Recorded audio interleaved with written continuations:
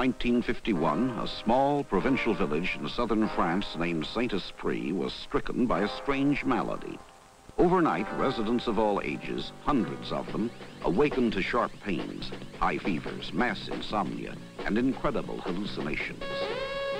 One man spent the hours of day and night endlessly counting the panes in his window. Another compulsively wrote the same words over and over. Small girls saw tigers in her room and blood dripping from the ceiling. All complained of severe burning sensations. More than 300 cases had been counted before the plague was identified as St. Anthony's fire, a poisoning produced by ergot, a fungus that grew on rye, which later was milled and baked into bread. A direct relationship between St. Anthony's fire and LSD-25 has never been clearly established to this day.